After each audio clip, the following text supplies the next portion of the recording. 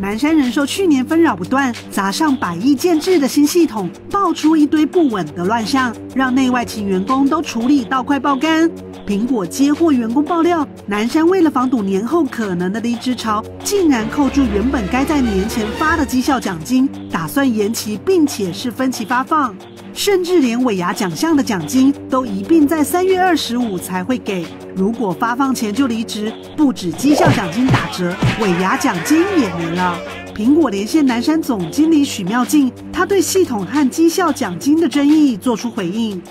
过了四个月了，其实我们自己都能够把这些问题归类，而且都已经在逐步解决当中了。这些会议都还没开，决策也都是要在这些会议上面做的嘛。他也说，尾牙奖项发放没有不同，是因为台北、桃园合办，才会让发放作业时间多一点。希望大家不要多做揣测。